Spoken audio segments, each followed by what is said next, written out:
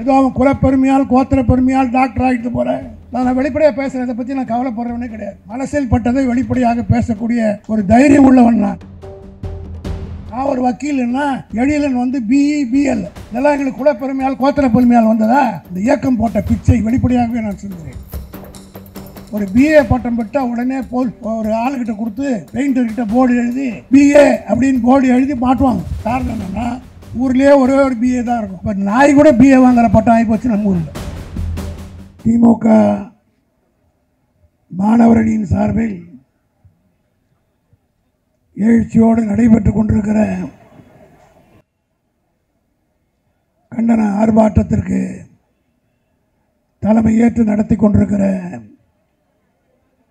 மாணவரணியினுடைய செயலாளர் சட்டப்பேரவை உறுப்பினர் அருமை தம்பி எழிலரசன் அவர்களே தலைமை நிலைய செயலாளர் பூச்சி முருகன் அவர்களே உரையாற்றி விடைபெற்றிருக்கிற மருத்துவர் அணி செயலாளரும் ஆயிரம் வழக்கு தொகுதி சட்டப்பேரவை உறுப்பினருமான மருத்துவர் எழிலன் அவர்களே பொறியாளர் அணியினுடைய ஆற்றல் மிக்க செயலாளர் அருமை தம்பி எஸ்கேடி கருணாநிதி அவர்களே தலைமை கழகத்துடைய வழக்கறிஞர் சூர்யா வெற்றி கொண்டான் அவர்களே கழகத்தினுடைய செய்தி தொடர்பு துணை செயலாளர் டாக்டர் அசீஃப் அவர்களே மாணவர் அணியினுடைய நிர்வாகிகளே பல்வேறு பொறுப்பில் இருக்கின்ற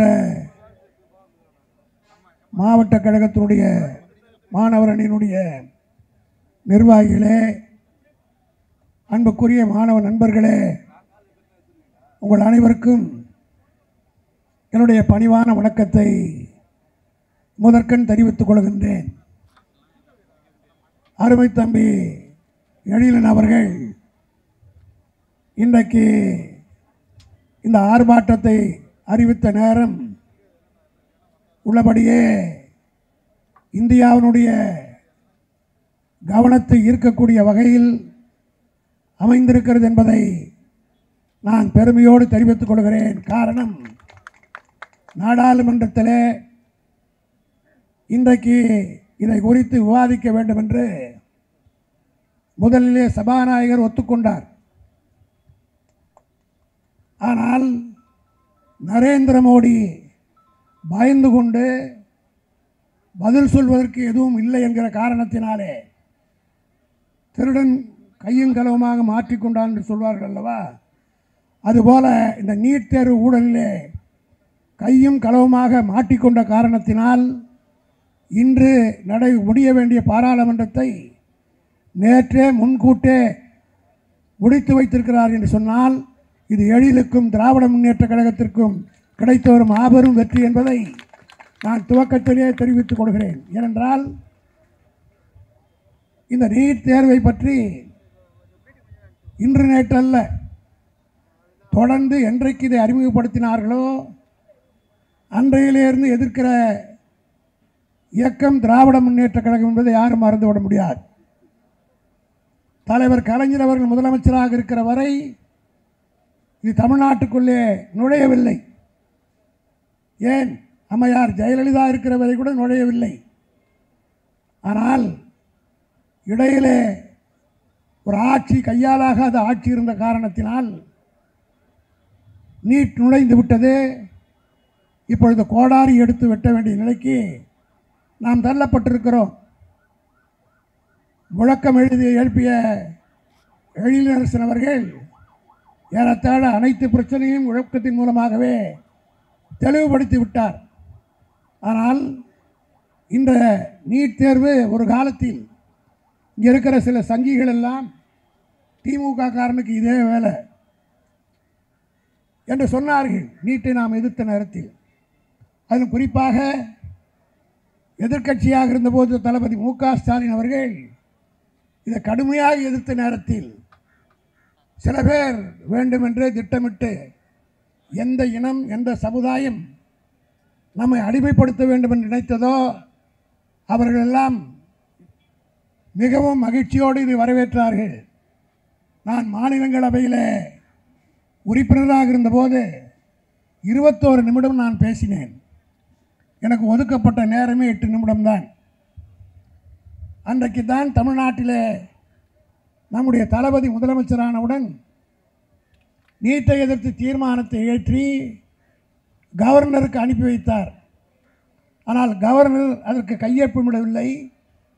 அதை எதிர்த்து மாநிலங்களவையிலே நான் பேசுகிற போது நல்ல வேளையாக இன்றைக்கு துணைத் தலைவராக இருக்கிற ஒரு பிற்படுத்தப்பட்ட சமுதாயத்தை சார்ந்தவர் அவர் நிதிஷ்குமார் கட்சியை சார்ந்தவராக இருந்த காரணத்தினால் என்னை பேச அனுமதித்தார். அப்பொழுதுதான் இந்த வரலாறை நான் சொன்னேன். நீட் என்பது ஏதோ எங்களுக்கு வம்புக்காக எதிர்ப்புத்தால் அல்ல. தமிழ்நாட்டினுடைய நிலைமை ஒரு நாற்பது ஐம்பது நூறு வருடத்துக்கு முன்னால் எப்படி இருந்தது என்ற வரலாறை நான் சொன்னேன். நீதி கட்சியினுடைய ஆட்சி நடைபெற்று கொண்டிருந்த போது பனங்கள் அரசர் முதலமைச்சராக இருந்தபோது கர்னூலுக்கு பக்கத்தில் இருக்கின்ற ஒரு தாசில்தார் ஆஃபீஸுக்கு போகிறார். அங்கே நாற்பத்தி ரெண்டு பேர் வேலை செய்கிறார்கள் ஏறத்தாழ.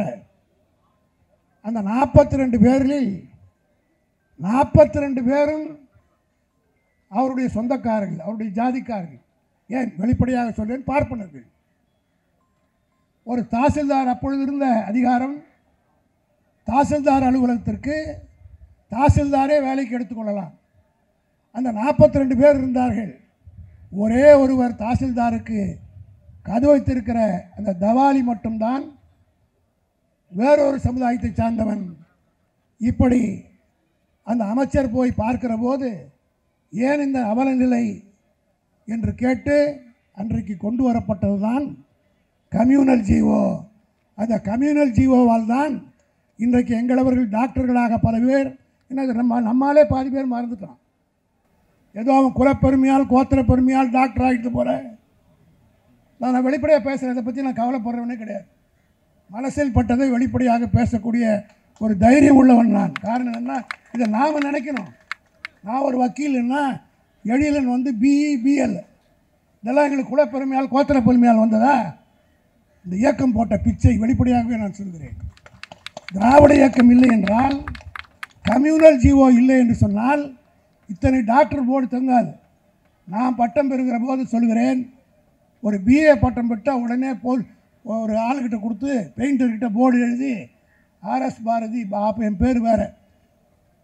பிஏ அப்படின்னு போர்டு எழுதி மாட்டுவாங்க. காரணம் என்னென்னா ஊர்லேயே ஒரே ஒரு பிஏ தான் இருக்கும். இப்போ நாய் கூட பிஏ வாங்குகிற பட்டம் ஆகி போச்சு நம்ம ஊரில். யாராவது எங்கேயாவது போர்டு போட்டிருக்கீங்களா? இப்போ யார் வீட்லையாவது பிஇன்னு தொங்குதா? யார் வீட்லையாவது பிஏன்னு போர்டு தொங்குதா? அதுக்கு என்ன காரணம்? யார் இந்த வளர்ச்சிக்கு யார் காரணம்? அதை அழிக்க நினைப்பதற்குத்தான் இந்த நீட் வந்திருக்கிறது என்பதை நான் மாநிலங்களவையே சொன்னேன். அப்போ அப்படியே அவர் கேட்டுக்கொண்டிருந்து பிஜேபியில் இருக்கிற நான் பிராமின்ஸ் கூட இப்படியெல்லாம் நடந்திருக்கிறதா தா இந்தியாவிலே? அப்பொழுதுதான் நான் சொன்னேன் நீட் தேர்வு வருவதனுடைய நோக்கமே எங்களை அழிப்பதற்குத்தான். ஒரு குறிப்பிட்ட கூட்டம் தான் போக முடியும். இதில் என்னென்னா நம்மளே பேசுகிறான் நீட் என்னன்னா நம்ம ஆளுங்க தான் படிக்க ஆரம்பிச்சிட்டாங்கன்னு எப்படா படிக்க ஆரம்பித்தான் நீ சென்னையில் இருக்கிற டியூஷன் ஃபீஸ் என் வீட்டு புள்ள பூச்சி வீட்டு பிள்ளைக்கு வசதி இருக்குது படிக்க வச்சிடுறோம் சென்னையில் பட்டிக்காட்டில் இருக்கிறவனுடைய பையன் எப்படி வர முடியும்? எங்கள் பிள்ளைங்களோட அதிகமாக மார்க் வாங்கினவனால போக முடியலையே. அதனால தானே இத்தனை பேர் செத்தாங்க? ஒரு நீட் எக்ஸாம் தானே இது நடக்குது. இதை சுட்டி காட்டிய பிறகும் இன்றைக்கு அவர் அடம் பிடிப்பதற்கு என்ன காரணம்? நீட்டு ஒழுங்காக நடந்ததா? இப்போ காரி துப்புது. இந்தியா பூரா உலகத்திலேயே உலக மகா ஃப்ராடு என்பது நீட்டில் தான் என்பது நிரூபமாகியிருக்கு. அது யாருடைய கையில் இருக்கிறது? நரேந்திர மோடி கையில் தானே இருக்குது. ஒரு சாதாரணமாக ஒரு சின்ன யாராவது அரசியல்வாதி தப்பு பண்ணிட்டா உடனே கெஜ்ரிவாலை கொண்டு போய் உள்ளே வைக்கிறார்கள். சிரோனை கொண்டு போய் உள்ளே வைக்கிறார்கள். எல்லோரையும் கொண்டு போய் செய்கிறார்கள். இவ்வளோ பெரிய மோசடி நடைபெற்றிருக்கிறது. இந்த நீட்டில் மத்திய அரசு உச்சநீதிமன்றம் தலையிட்டதுனால்தான் நடவடிக்கை எடுத்திருக்கு. ஆகவே தான் திராவிட முன்னேற்ற கழகம் இன்றைக்கு அல்ல இது வந்தபோதே எதிர்த்தோம். தளபதி மு க ஸ்டாலின் அவர்கள் தேர்தல் வாக்குறுதியிலே சொன்னார் நாங்கள் ஆட்சிக்கு வந்தால் நீட் தேர்வை ஒழிப்பதற்கு எல்லா நடவடிக்கை எடுப்போம். எடுத்தோம்.